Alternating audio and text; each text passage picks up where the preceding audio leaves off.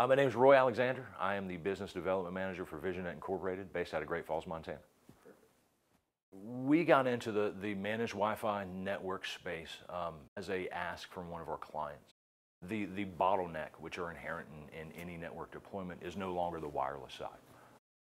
We had deployments of, of uh, uh, a mixed bag of different wireless equipment and different network equipment and things like that. Uh, I thought it was important to, to simplify that, and unify it into one platform, uh, and, and a very important aspect of that platform is central management from a, uh, from a location.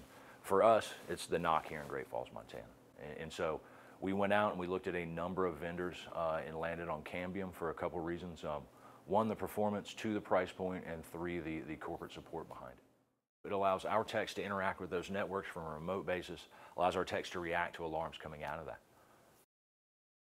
So the business results from that, of course, increase revenue uh, and, and noticeably increase customer satisfaction. Saves time, saves money, saves effort.